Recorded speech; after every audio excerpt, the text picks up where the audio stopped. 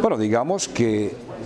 la presentación de la ponencia del proyecto de ley 019,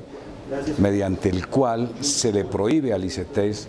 cobrar intereses sobre intereses en los créditos educativos que se le hacen a los estudiantes universitarios de Colombia,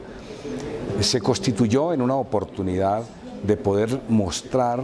eh, cómo el ICETES cambió radicalmente su misión, su esencia y su carácter desde cuando fue construido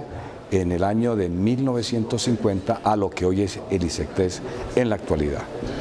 Hay una voluntad política de los parlamentarios de buscar un acuerdo